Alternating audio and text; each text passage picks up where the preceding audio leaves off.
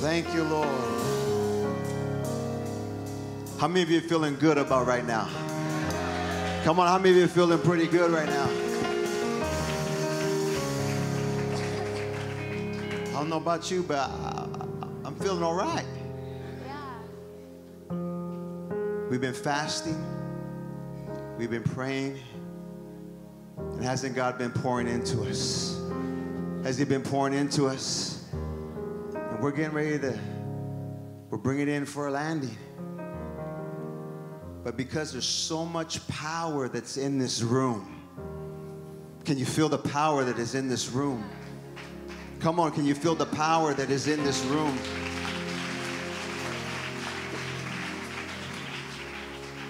And in a few moments, as we close out this all night prayer meeting, we're going to do it in warfare. Because God's given us a mission and a task. Be seated for just a moment.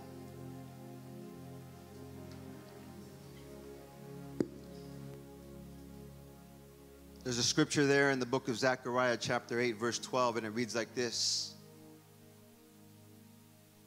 It says, For the seed shall be prosperous, the vine shall give its fruit, and the ground shall give her increase and the heavens shall give their due. There's the two channels of water, the two sources of water.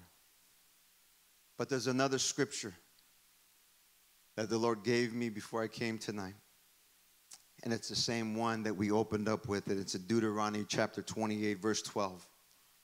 It says, The Lord will open to you his good treasure the heavens to give the rain to your land in its season and to bless all the work of your hand. And you shall lend to many nations, but you shall not borrow. And the Lord will make you the head and not the tail. Give the Lord a good praise here today. Come on.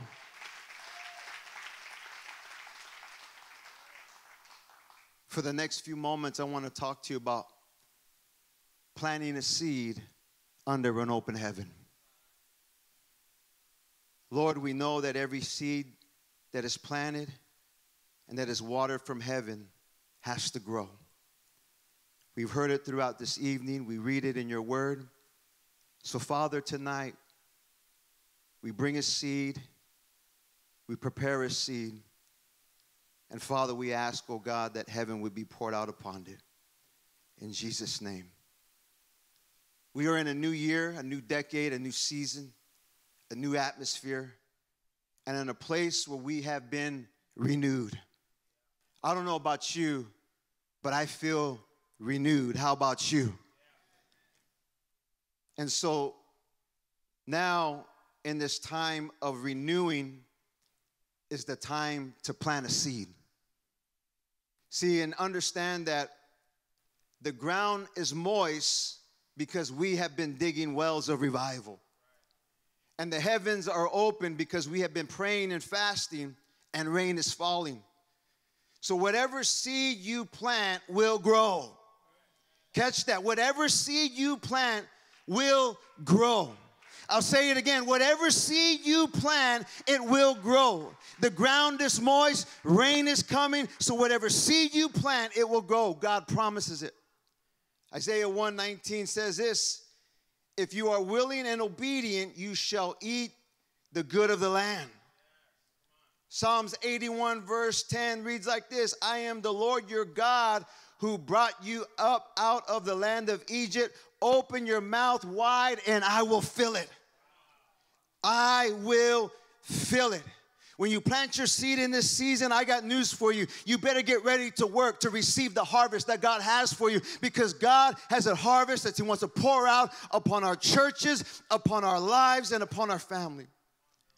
God has blessed us, but He still has more for you. You think it's good now? I got news for you. It's gonna get better. It's gonna get stronger. It's gonna get stronger within your life.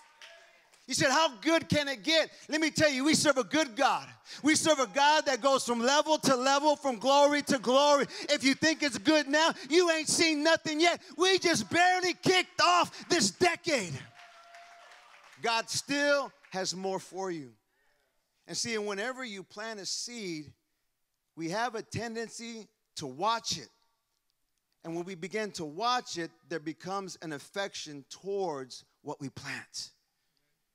And something that we need to understand when that affection is upon our lives for what we planted, there becomes a deep emotion in our heart, and we begin to be attached to it.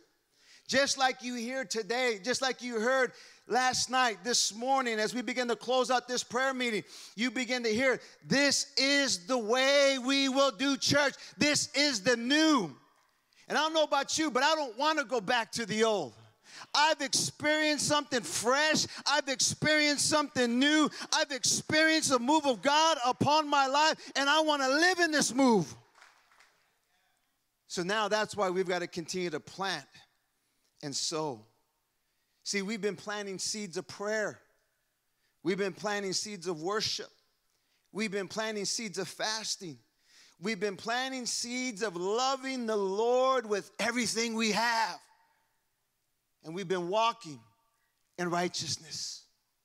I can honestly say we've been giving the, we've been loving the Lord with everything we have.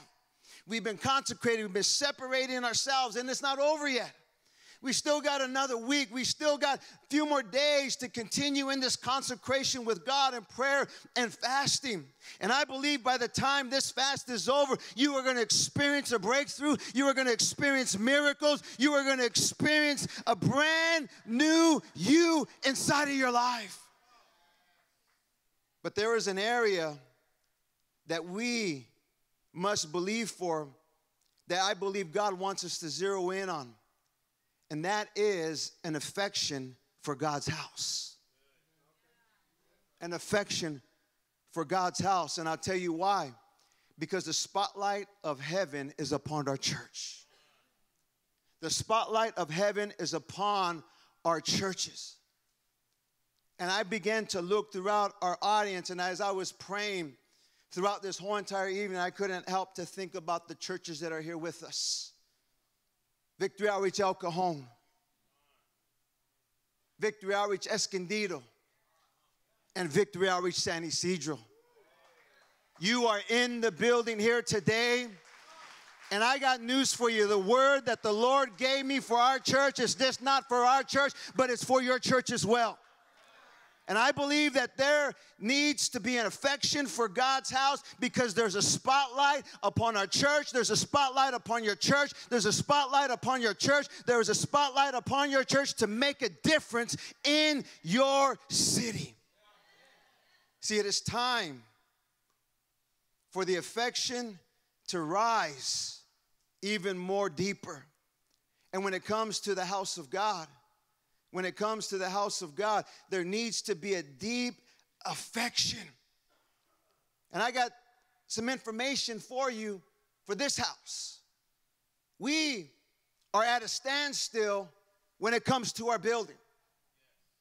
We are at a standstill. If you don't know, we have plans and we're prepared and we're ready and we want to push back the wall. I'll tell you why we got to push back the wall because there's no more room. We need to be able to make space for families and souls that will come into this house.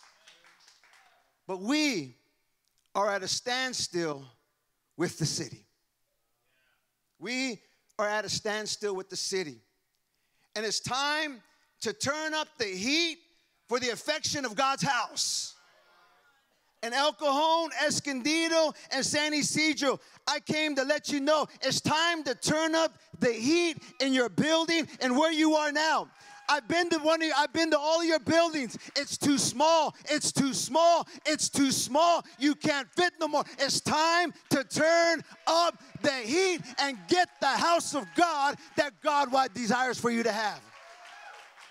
He didn't call us to be small. He didn't call us to have a small place. You don't fit there no more. It's time to turn up the heat. And this is how King David put it there in First Chronicles 28, verse 10. It says, Consider now, for the Lord has chosen you to build a house for the sanctuary. So be strong and do it. Be strong and do it. There is a command upon our lives as leaders, as pastors, as ministers to build the house of God. And David had an affection to build the temple, he had an affection to build God's house. And there's three affections that we need to internalize. And the first one is this is that we need to have an affection to pray for his house. And that's what we're doing. That's what we've been doing. And if you begin to study the Word of God, you will see that David rallied the officers, the leaders, the people of God, and all the mighty men of valor, the women of valor, the men and women of God. And they all had an affection for God's house because they loved what was happening in their lives. And understand this it's not just your pastor's job, our pastor's job, or just a few of the leaders to begin to pray and to begin to believe God. It is going to take all of us corporately begin to pray, corporately begin to stand together. It's not just your pastor's responsibility to look for a building, it's just not our pastor's responsibility or just a few of us leaders to begin to pray for this building expansion to take place. It is going to take all of us corporately praying to see this wall come down. It's all of us together. And it's not about the practical because we've already done the practical. We were already drawn up the plans. We were already in position. We were already done. But now it's about the principalities and the high places. We've done the practical. We spend the money. We made the plans. We've done all of that. It's already in place. They already said this is easy and it can be done. So now we've got to go after the principalities in the high places. And we're going to go to that high place. Because the reality of it is, there's one person, there is somebody, there is a leader in the city that has to make a decision. That's what it's boiling down to. It's boiling down to somebody that is a leader in the city that will look at the situation and begin to make a decision. See, principalities means a higher ruler higher, higher ruler. And there is a leader in the planning department that needs to make a decision. I'm gonna just call it out the way it is. There's a person there that needs to say, You are approved. You are ready to build. And we need to pray because it's time that we build this place. And it needs to look like a house of worship it needs to look like a house of worship. It is time for El Cajon, Escondido, and San Ysidro to begin to build because your place needs to look like a house of worship. See, people tell us all the time, I would have never known what's happening on the inside because of the way it looks on the outside. We get that all the time. I would never have known what was happening in the inside by the way it looks on the outside. The spotlight of heaven is upon us. It's time to pray over the plans at the city that someone would say yes or correct what needs to be corrected. I don't know about you, but we're ready. We are ready to build. There just needs to be somebody that'll say yes. See, the prayer is this Lord, open heaven over the one that gives a stamp. Lord, open heaven over the one that begins to give the stamp because there is a leader, there is somebody in a high place that can say yes and begin to give us the stamp.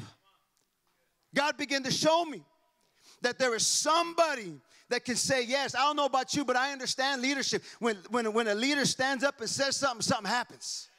When a leader gets up and says something, makes something work, something happens. So there's a leader in the city. There is a leader that heaven needs to open up over them so that we can do what God has called us to do. El Cajon, Escondido, and San Ysidro. Get ready because you're going to have to go before somebody one day. And so I would say you begin to prepare now. Churches begin to prepare now. Pray for your church, pray for your city, and pray that when you begin to approach that development apartment, that heaven would be opened over those people. I'm telling you, we're going to do warfare in just a moment. Second affection we need to have is that we need an affection to pronounce. We need an affection to pray, we need an affection to pronounce. Pronounce means to make a sound, get one's tongue, proclaim, declare, and decree. And that's what we just did. But there needs to be sound that comes from Victory Outreach. There needs to be one sound that will come from, from us as the people of God, as the church. We need to pronounce it that this wall will come down. You will get a building. El Cajon, I declare it over you. You are going to get a building. Escondido, you are going to get a building. San Ysidro, you are going to get a building. VOSD, this wall is going to come down. We are going to speak it over in 2020. It is coming down. You're getting a building, you're getting a building, and you're getting a building. And don't you dare be timid that you can't do it. You serve a big God. You serve a miracle working God. You serve a God that is able to open heaven over your ministry. First Chronicles 28, verse 20 reads like this And David said to his son Solomon, Be strong and of good courage and do it. I like his attitude. He kept saying, just do it. And do not fear, nor be dismayed, for the Lord your God, my God, will be with you.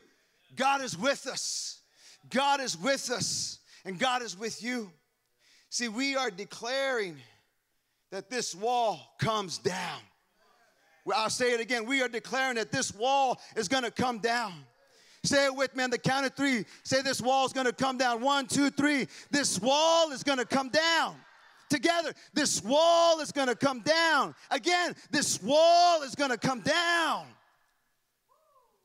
God is with us. God is for us. And God will do it. When we pronounce that this is going down, that means we have an affection for the house of God.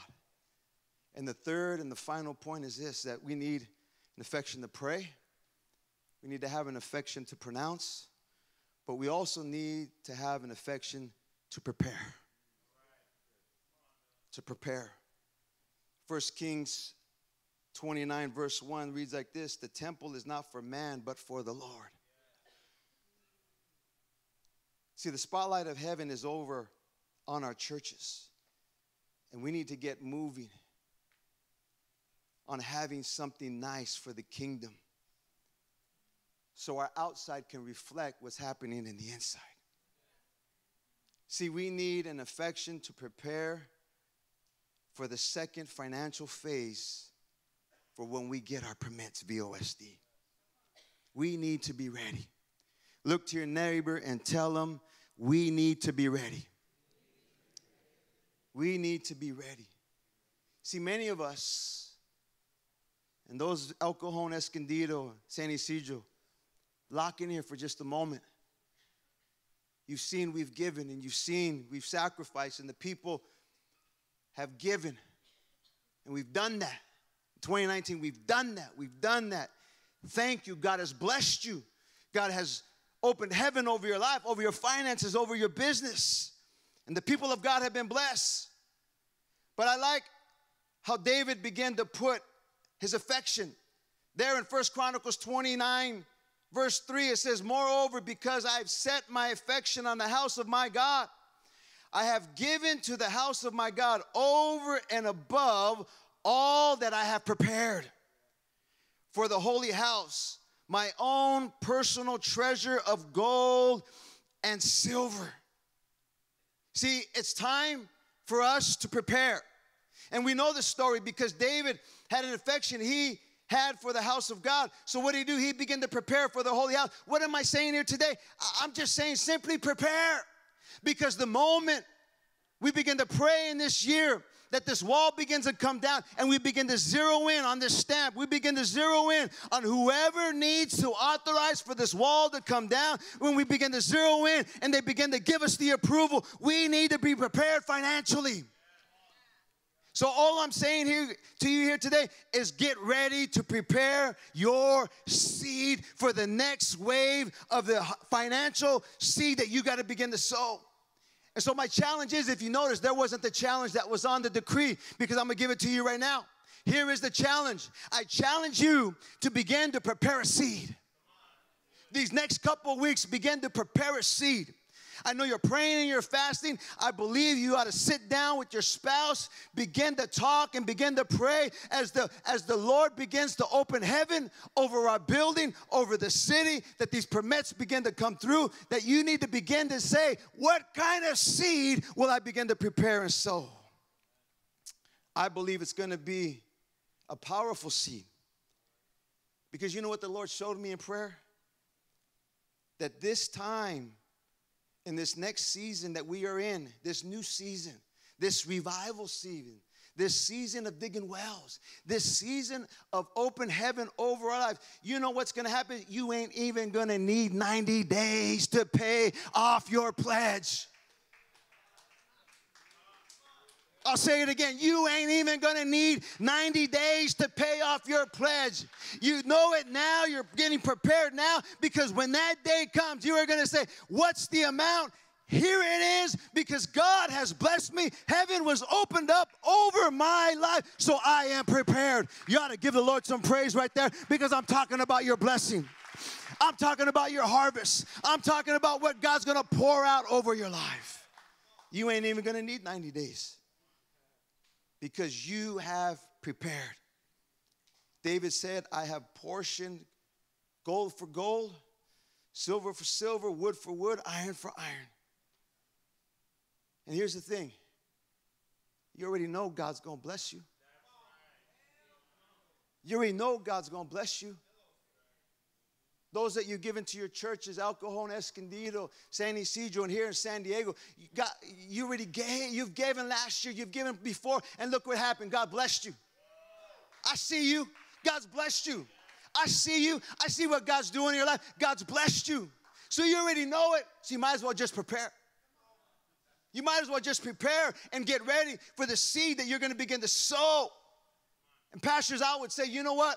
God begins to stir your heart, you need to begin to start looking for a building. You need to begin to start pledging for a building. You need to begin to get ready because heaven is going to open up over your church.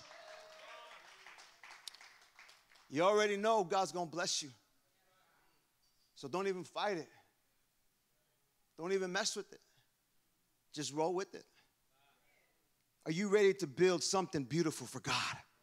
Come on, Victory Outreach. Are you ready to build something beautiful for God?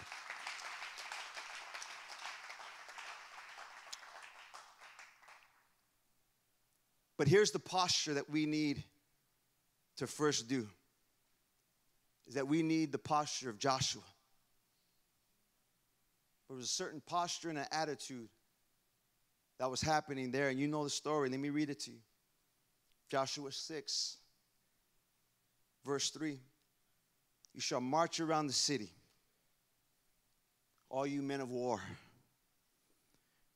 Do we got any men and women of war in the building? Come on, do we got any men and women of war in the building? Come on, give me some energy. You've been here all night. You've been here the last eight hours interceding and praying and believing God for breakthroughs and miracles, and heaven has been opened up over you. And it goes on to say that you shall go around the city once. This you shall do six days, And seven priests shall bear seven trumpets of ram's horns before the ark. But the seventh day you shall march around the city seven times. And the seven priests shall blow the trumpets. And it shall come to pass.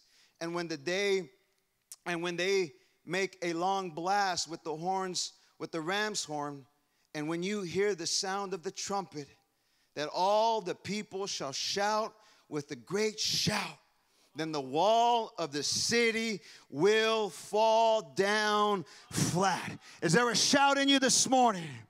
I'll say, is there a shout in you this morning? Because when there's a sound and when there's a shout, things begin to fall. And I've declared that for the next seven days, the city is going to hear from Pastor Miller the city is going to get a phone call from Pastor Miller and Brother Paul. We've been on this bark. We are going to call for the next seven days and we're going to believe God for breakthrough. We're going to believe God for miracles. We're going to believe God for an answer. We're going to believe God for some leader to rise up and say something. Say something. Give him money make a change, whatever they got to do. We're going to make the city say something. I'll say it again. We're going to make the city say something. Hey, we know where the office is at, right, Brother Paul? We know where the office is at. If they ain't picking up the phone, we gonna knock on the door. The city's gonna know us. The next seven days, we're gonna go and we're gonna make them answer and say something. It's change the plans, give them more money, or give us the approval. Whatever it is, we are going to make them say something. We got to make them say something. Stand with me here tonight. We're gonna, we're gonna, we're gonna get ready to close, but we're gonna do something a little different. We've been praying. We've been worshiping. I don't know about you, but my blood, my adrenaline is moving right now. I, I, I'm ready. Felt like I worked out.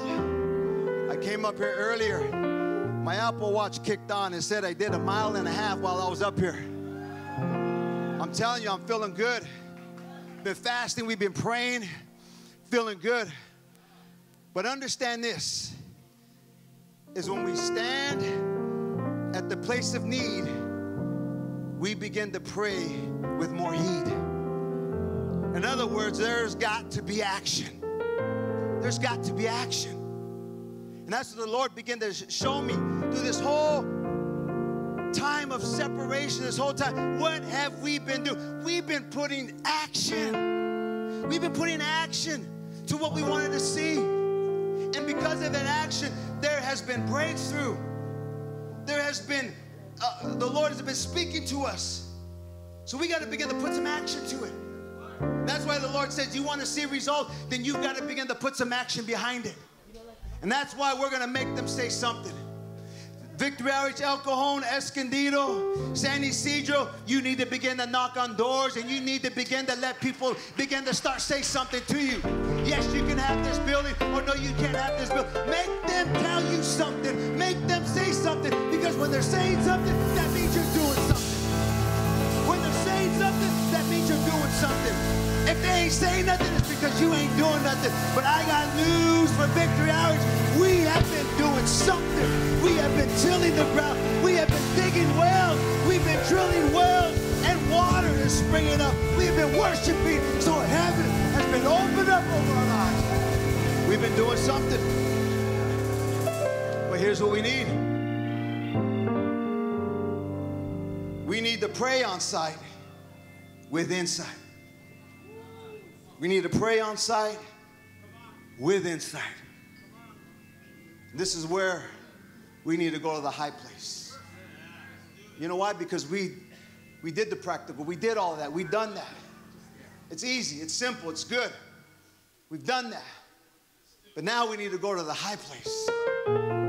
We need to go to the high place. Pull down. I'll say it again. Pull down.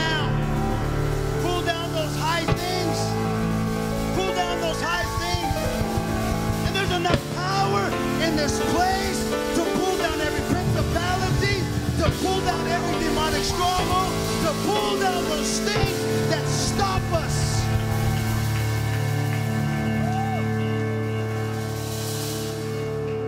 Here's what we're going to do we're going to pray for this wall, and we're going to tell this wall, you're going to go down.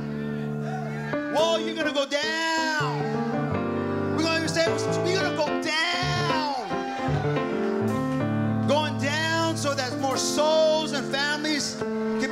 Into this place. I just wonder tonight if our worship team can just kind of take us back to that old school song. Come on.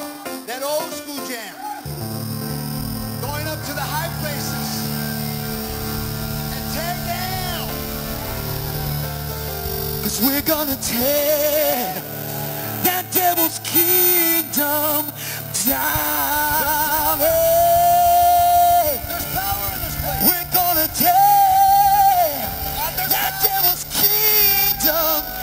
Tear